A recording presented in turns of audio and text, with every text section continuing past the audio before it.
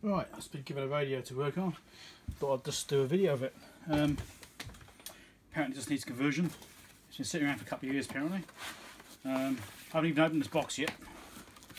So let's see what we're dealing with.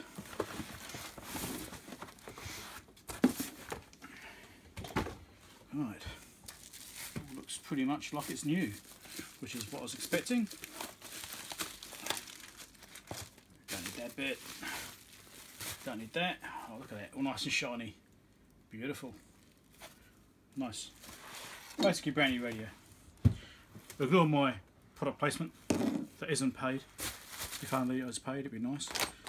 And standard microphone, power cable in there. Might be using those, always use my mic. I mean, it's brand new. It's going to be working, it'll work. So there's no point in looking at it. Right. One nice new radio. It's always nice to work on a radio like this.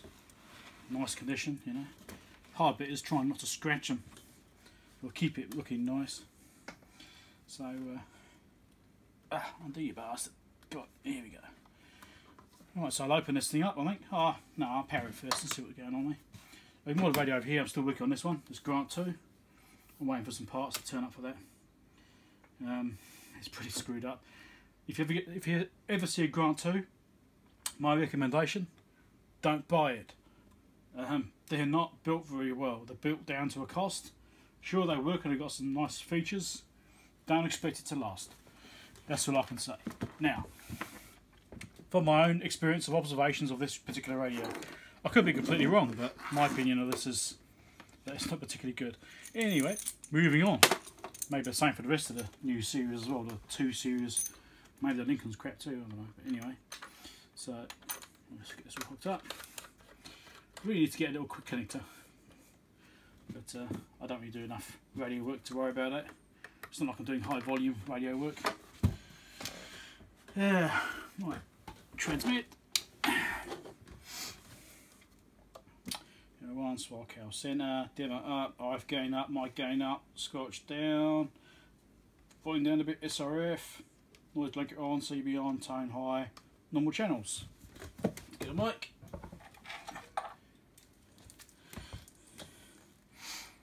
I always use my mic because I know what it's supposed to sound like. If it sounds different, then I'll notice if something's not quite right with the radio. Alright, there's some channel one there, which is uh, on the other radio as well, same frequency. Let's check the frequency counter on. Turn the power onto my gear first, that would certainly help. Right, so my frequency counter's not going to be bang on because it's still got to warm up, but right, Hey, transmits. It's doing 3 watts. Awesome. Massive 3 watts from the factory. Good job. Good job, Cobra. One tape. Yeah, swinging on the audio is not very great either. Um, let's flip the Marconi on and let's see what we get as far as the uh, approximate audio level. I'm not going to obviously be running off a generator, I'm just going to be doing whistles My desk is a mess, we got to sort this out. Um, bunch of parts and other stuff. Right. Come on, hurry up.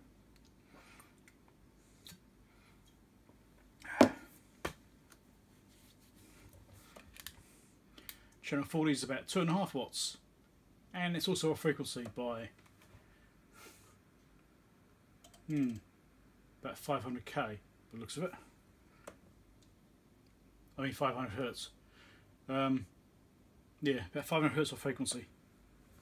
Even going by the Marconi, it says the same thing. But not quite as much because it's obviously just turned on so the oven's got to warm up. Right, let's see what we're doing. AM modulation.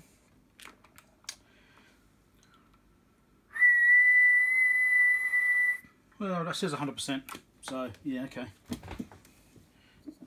That's probably alright. Modulation's probably set up correctly, but the power output's a bit low. So I'll fix it. Anyway, I've got to pull this apart, do the conversion on it. Obviously, it works okay. Uh, dimmer, yeah, it's working alright. I like to have a little quick look at radio before I actually open it up, just to make sure there aren't any pre-existing faults on the factory. I have come across them. It will be the first time I've actually found that a radio was faulty from the factory. Um, it was actually Cobra, actually, it was a 29, very new 29. And it actually had solder blobs floating around on the circuit board. So when you moved it, you could hear a little rattle around and a couple of times it stopped working. It's like, oh, that's not right. Okay. Still do RX test. Um, what do you want? Channel 1. It's the, yeah, it's quite a nice sensitivity there. Right. That's not great. Um, don't see the signal meter there, but it's not registering. That's on a minus 107 dBm. I would actually expect more than that. Um, I mean, yeah, there's a noise blanker off, you're getting half an S point.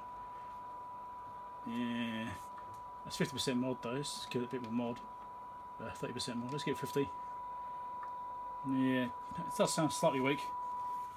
So, anyway, I'll fix all that when I do a conversion.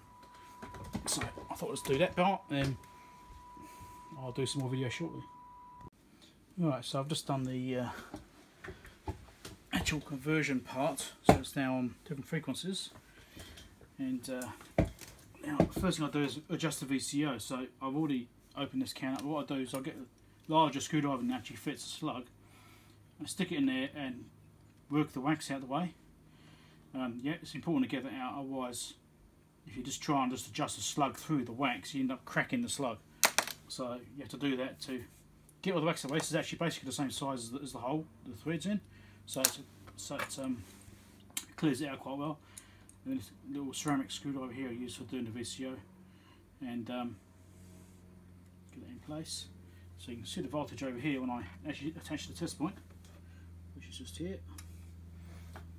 So I'm on channel 1 on RX. Um, I've already tweaked it a little bit because I was moving around. Right, so 4.8 volts is as high as the VCO voltage would go, which means on RX on channel 1 it isn't actually locked. So um, I'll just turn this down so it's starting to get under control now. If we go to channel 40 on RX, that's 2.2 volts. Alright. Um, TX 1.9 volts and that is on frequency. So I tend to set that so it's got a nice stable voltage. I mean, see how touchy that is adjusting really touchily. And as you come down, it gets more and more stable. So anything above 2.5 starts to shoot up and gets a bit unstable. So I'd set about 2.3 on RX. Um, and I find that works quite well generally. Right, so TX 2.1. This stuff yes on channel 1 and uh, channel 40 is sitting at 2.1 RX 1.9 TX so um, that's all looking alright. So that's the VCO part. Um, it's, very, it's always the first thing I do. The next thing I do is adjust the 10.24 megahertz. Um, but my scope currently isn't going so I need to get it going. I hope it hasn't blown up again. had much luck with the scope recently, it's getting its last legs anyway. So This uh, Grant 2 will be in a video at some point. Um, I've already recorded some footage for it, but I'm waiting for the new parts. Once I get those, I'll carry on recording some more. Uh, right, so now I've got a probe around and get the 5.12 megahertz signal which I've got to find which pin it is so here we go. What's that pin there. Right.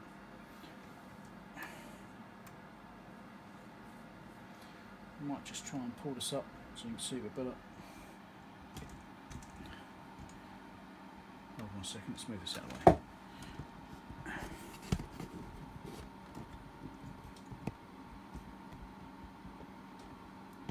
Thought you might be able to see the radio and the scope at the same time. Uh, right. And figures counter is the bottom one. I've got two counters here, one's TX frequency, one's the scope frequency. So yeah, you should see that. Right.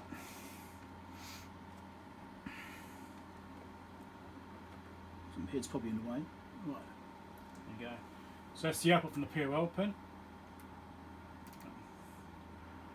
Right, 5.12 megahertz coming out. So it should be half of the 10.24 frequency. And as you can see, it's 5.1199. And as I saw, my TX frequency is a little bit out. So I just need to tweak this slightly in order to get it on frequency. It's had enough up time by now. it's, it's been on for know, probably 10 minutes. It's probably close enough. So I'll just tweak this up to get it close.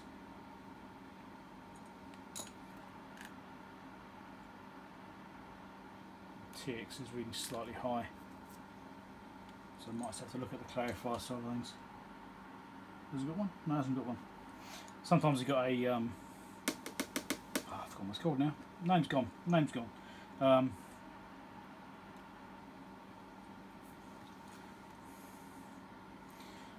uh, what's it called? Um, it's completely gone. Name's gone out of my head.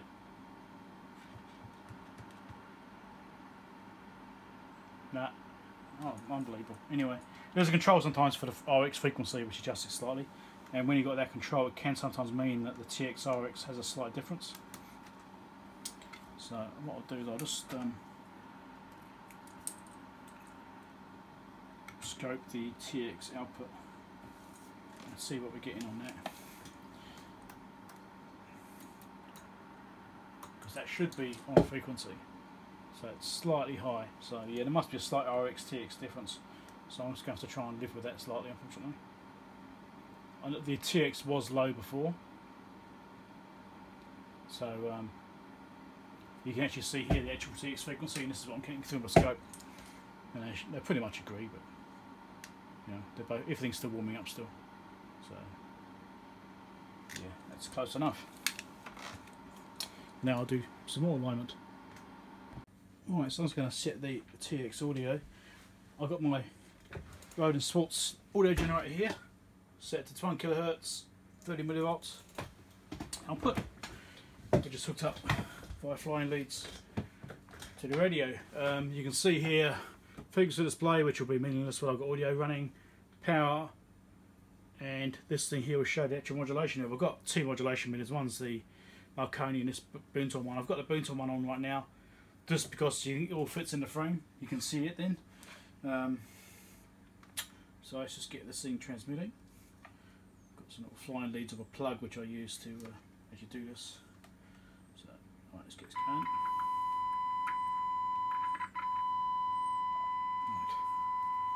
As you can see right now it's over modulating because I've been playing around with it. I haven't actually set it yet it's fiddling around. Um, and you can see it's doing 6 watts I miss. So let's just drop this down. Can you hear the distortion going away? So that's I'm, monitoring that on my other radio.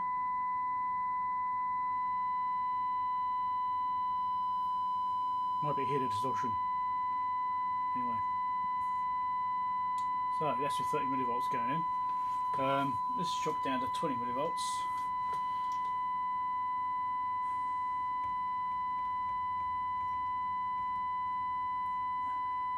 Could have punched it in, but I'll do that. So they're still doing 100%. So let's just go down 10 millivolts.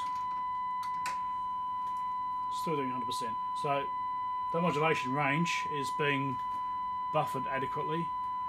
You can see the power bit's dropped slightly there. Um, 30. Yeah, it's just putting it a bit warm, maybe. Yeah, slightly. Um, so yeah, that's set at least. Let's do 5 millivolts. Yeah, still okay. So the actual, yeah, I've got some ground loops issues here, so if I go down too low I actually get issues with it. So, yeah. So that's working alright. I mean, even 5 millivolts is doing 100% mod. 50 or something. This is the um, Rohde and Schwarz audio generator, which I repaired in another video. Um, so anyway, that's set close enough. Um, yes, yeah, so that's the Rohde and Schwarz that I repaired in another video, which you can actually have a look at um, on my channel if you're interested in what I did to repair that one. The um, now I should actually use a spectrum analyzer as well, but my my analyzer is actually not very good. It's not very precise, um, which is a bit unfortunate. Um, this Boonton actually puts out interference which affects my my um, frequency counter, as you can see. I plug into the Marconi, it's fine. Gets a little bit, but not nowhere as much. Anyway, um, it was like yes, my special analyzer is actually very good. I'm actually looking at a couple on eBay at the moment. Um, I want to upgrade and get something far more recent, well, at least slightly more recent, which has got cursors and markers and stuff like that on it, which are more meaningful. This is just not very good at all. It's um, it, uh, it, it it doesn't show um, enough detail on it, even though it should. It's just, no, it's not very good. It's too old, I think. I picked it up quite cheap. I think I paid about four hundred dollars for it originally, but um, I mean it does work, but it just isn't very good. Um, let's transmit this thing and just uh, show you what I mean. It's a bit of a side. But, um,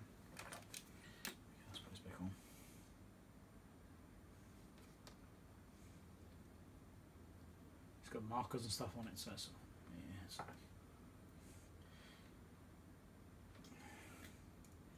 it's not very good. I don't tend to use it much because it's not very good.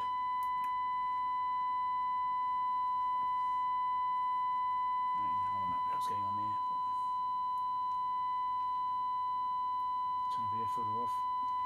Turn your eye filter off, there you go. Alright, so there is the unit. So if I... I think I can mute the audio actually. No, I can't. I just have to pull this off. So there's a carrier. Um, although it's not great. Yeah, I'll turn it off. It does have a tracking generator on it. And yeah, it's not a great unit. It's, it obviously, you know, has a function, but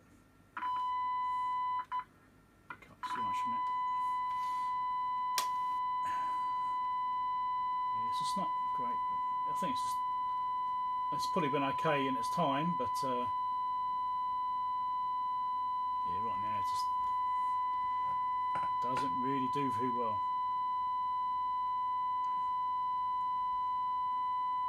Anyway.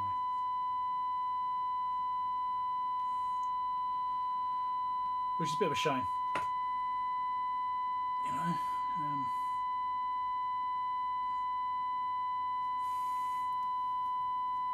see audio through it,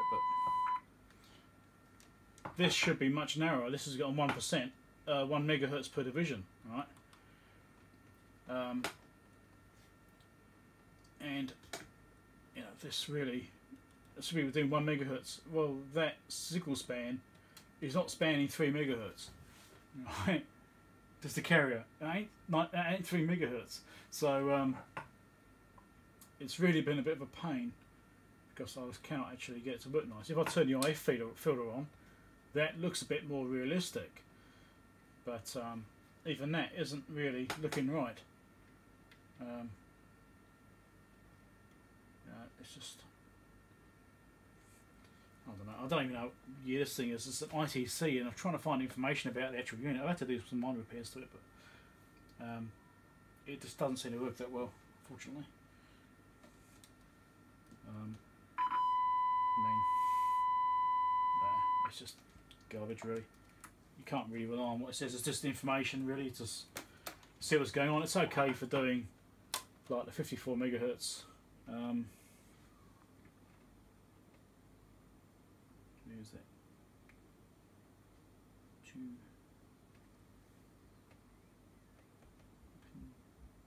Not looking for pin one and three. One and three. Here we go. TX. Alright. So it's okay with a 54 megahertz spike, which is over here. Um, that one? Uh, hold on a minute. Let's try this dispersion all down, makes more sense, doesn't it? Here we go. Right, there's a 54 megahertz spike over there. Um, yeah, thereabouts anyway. But which this is actually looking high, so I might have to adjust the radio. But that's all it can really tell me because it just doesn't really do what I want. I'm looking for another one, but they're bloody expensive things. I actually tempted to buy a brand new one, but it cost me about four grand, so don't really want to go there. So in before it's doing, uh, I had it set to minus 107 dBm, and that's basically at no signal level. Now I've done some, some realignment work, and that's what we get now. That's with the noise blanker on, and off comes up slightly. So, uh, slightly more sensitive than it was. If I go to say minus 115 dBm. So yeah, that's definitely doing better.